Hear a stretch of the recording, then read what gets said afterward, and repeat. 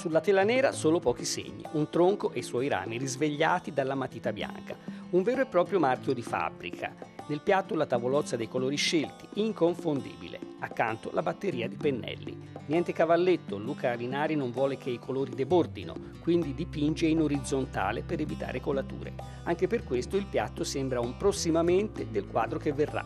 Il colore in sé non esiste esiste il rapporto del colore, che può essere arancio, verde, giallo, del colore con gli altri colori. Mescolandosi il colore tende a diventare uniforme. Se noi mescoliamo tutti i colori, che colore abbiamo? Un marrone. Luca Alinari al lavoro, un po' alchimista, un po' artefice rinascimentale. Potrebbe sembrare un visionario, ma in realtà è un perfezionista. Un'autodisciplina la sua che convive con il folletto, tutto fiorentino del paradosso, per cui ogni cosa appare logica nel momento stesso in cui la si mette in discussione e viceversa. Un pennello nuovo o un pennello vecchio c'è la sua differenza. Tutto è in qualche modo calcolato, ma nello stesso tempo tutto non è calcolato. Sul poggio che nasconde Firenze la casa del maestro insieme nicchia ecologica, cornice, palcoscenico, laboratorio.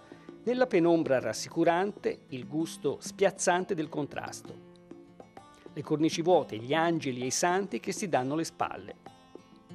Fuori la vivacità della natura si riflette imbrigliata nella geometria della vasca.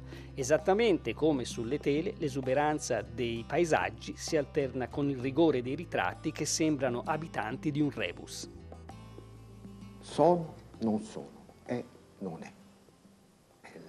L'arte viene così, non viene dalle certezze, viene dalla implicazione dialettica e contraria delle cose. Questo il pennello raccoglie i colori come se fossero fiori o funghi fra l'erba, li ingloba e poi li svolge letteralmente ruotando sulla tela.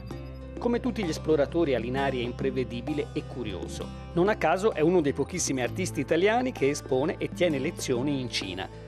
Forse per questo è stato scelto per disegnare il logo dei campionati mondiali di ciclismo che si svolgeranno in Toscana nel 2013.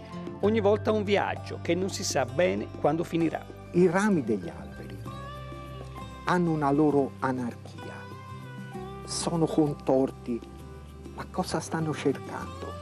Stanno cercando la luce, cercano la luce del quadro e il quadro è finito quando questi arami trovano la loro luce. Anche io in quel momento ho trovato la mia luce. Allora il quadro è finito.